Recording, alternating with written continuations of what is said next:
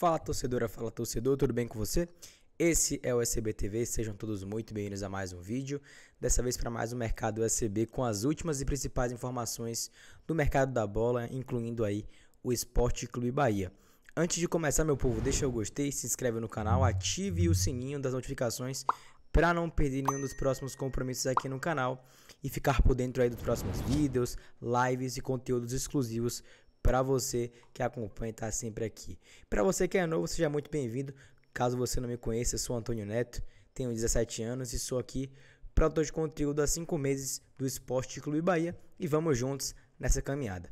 Meu povo, hoje tem muita coisa para a gente falar em relação a idas e vindas, a contratos renovados ou não para a próxima temporada, mas sobre Guto Ferreira, é um cara que está aí já em conversas para definir o futuro com o Bahia.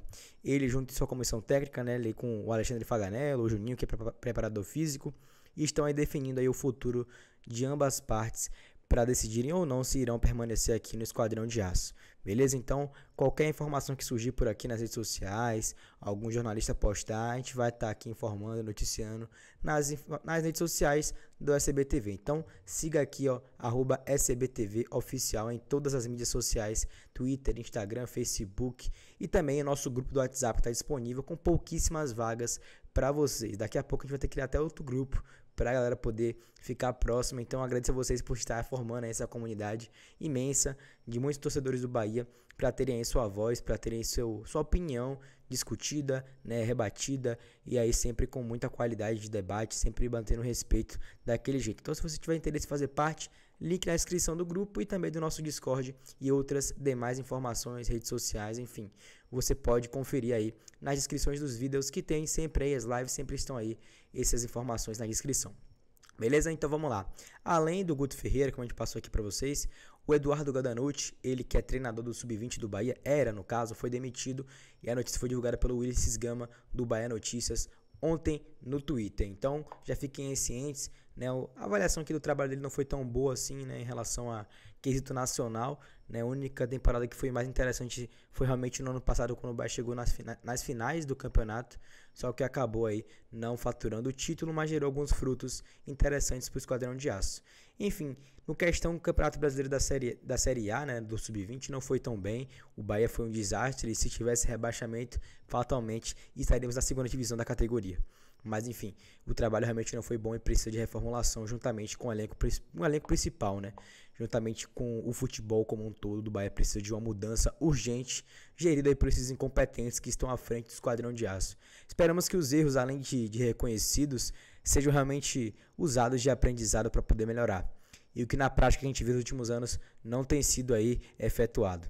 Mas enfim, não vou me alugar tanto a isso, vamos partir para os contratos para vermos aí quem permanece, quem fica, quem vai embora para o ano que vem do esquadrão. O Danilo Fernandes tem contrato até o final de 2021 com o Bahia e por mim, eu acho que ele deve sim renovar. Na minha convicção, ele deve renovar com o Bahia para a próxima temporada, para para poder compor elenco, para poder realmente ajudar para a segunda divisão, juntamente com o Matheus Klaus, que tem contrato até o final de 2024, renovou recentemente com o Bahia, além do Teixeira, o Matheus Teixeira aí que teve papel fundamental pelo título do Campeonato do Nordeste e o início aí do Campeonato Brasileiro também regular do Bahia.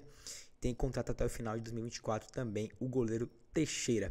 Na zaga o Conte tem contrato até o final de 2021, né? Se encerra nesse ano. Ele não, com um rebaixamento, fatalmente, o Bahia não teria condições de manter o atleta, mesmo até com a permanência.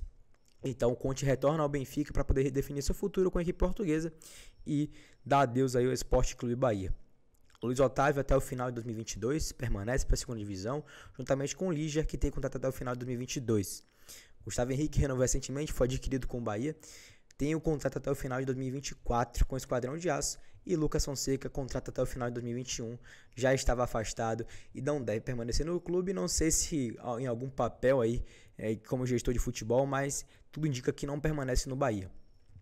Laterais, Nino Paraíba até o fim de 2021, tá? Deve permanecer para a Série B. Eu renovaria com o atleta. É um perfil interessante e agregador para a Série B, mas eu acho que um reserva seria muito mais interessante para ele poder ter ali uma, uma disparidade, né? Uma, uma, uma disparidade não, na verdade, uma briga sadia pela posição, porque o Nino necessita muito disso para poder manter o nível ali de qualidade do esquadrão de aço.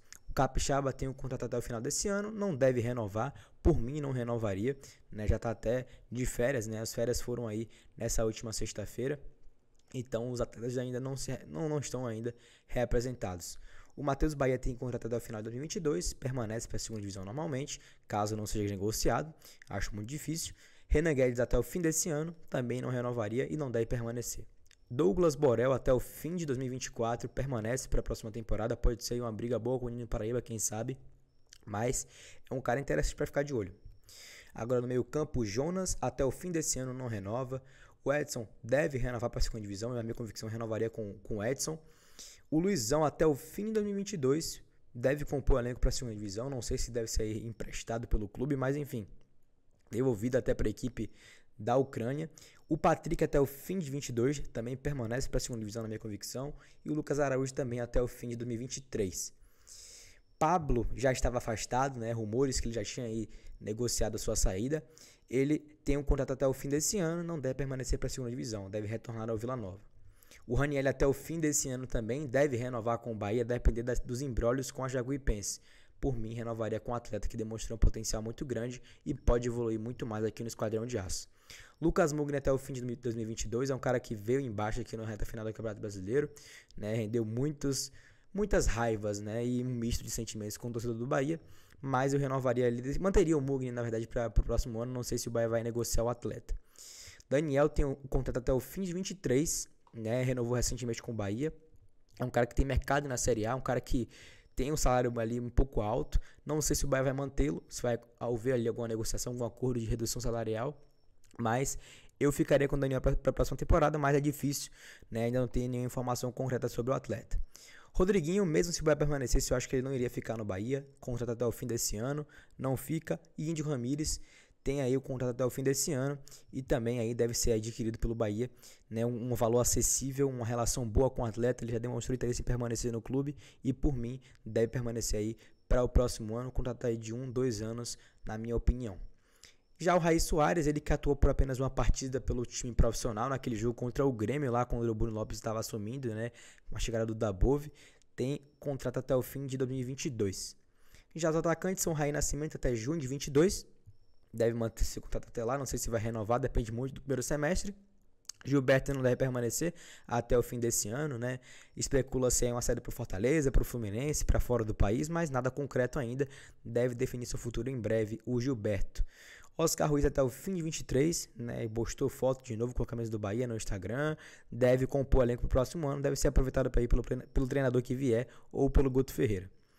Marcelo Cirino até o fim de 2023 já disse que vai permanecer, que vai sim ajudar o Bahia numa possível subida à Série A do próximo ano, 2023 no caso, né? Mas o, o Cirino deve sim permanecer, além de Isnaldo também com o final do contrato até o fim desse ano, também não permanece próximo ano. Rossi até o fim de 2021, por mim não permaneceria, né? Acho que por uns fatores extracampo, por algumas questões aí que rolaram, que eu prefiro não me alongar tanto. É um cara que, sem dúvidas, dentro de campo tem um fator agregador, um cara que dá raça. Mas pela questão salarial, acho que Rossi não fica. E outros trâmites também envolvendo o esquadrão de aço. Não sei ainda se já houve alguma informação divulgada, mas o Rossi não deve permanecer no Bahia no próximo ano. Ronaldo até o fim de 21 também deve permanecer, deve ter o contrato renovado. E Michael Douglas, que pertence ao Tom Benz, né, tem contrato até o fim desse ano, por mim também não permanece para o próximo ano. Hugo Rodadiga tem contrato até o fim de julho de 2022. Ele que chegou aí né, a marcar muitos gols importantes para o Bahia. Acho que eu renovaria por até o final do ano que vem com o Roda Liga e o Marcelo Rian até o fim de 2024. Beleza, meu povo? Agora atletas emprestados. O Douglas, que está no Juventude, né, tem um salário muito alto, acho que ainda tem mercado. E para poupar esse salário bem alto do atleta, acho que o Bahia deve reemprestá-lo no próximo ano, manter até para o próprio Juventude. Mas enfim, o contrato dele com o Bahia até é, dezembro de 2022. Zagueiros, Wanderson, que estava no Atlético Goianiense, né, não retorna ao Bahia. Contrato até o fim de 21, não retorna. Ignácio, que estava na Chapecoense, né, deve retornar e deve sim fazer ali uma boa, né, um bom, um bom suplemento, né, supondo ali que ele possa ali brigar com o Gustavo Henrique por uma vaga no time titular, já que Conte não deve permanecer no esquadrão de aço. O lateral Moisés tem um contrato até o fim desse ano, não deve permanecer no Bahia, deve ser renegociado aí com, com o Internacional e não deve permanecer no clube. O Marco Antônio tem contrato até o fim de 2023 e deve sim permanecer no Bahia para a próxima temporada, a não ser que seja negociado aí em definitivo ou em reemprestado.